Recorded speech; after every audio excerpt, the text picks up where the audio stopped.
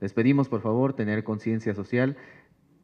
ser corresponsables con la ciudadanía al interior de nuestras familias, en sus negocios y en cualquier actividad que estén realizando, así como en el caso de ser procedente y de que el día lunes 24 aplique el color del semáforo, les pedimos por favor sea una apertura progresiva y segura. Es importante que no toda la población eh, se confíe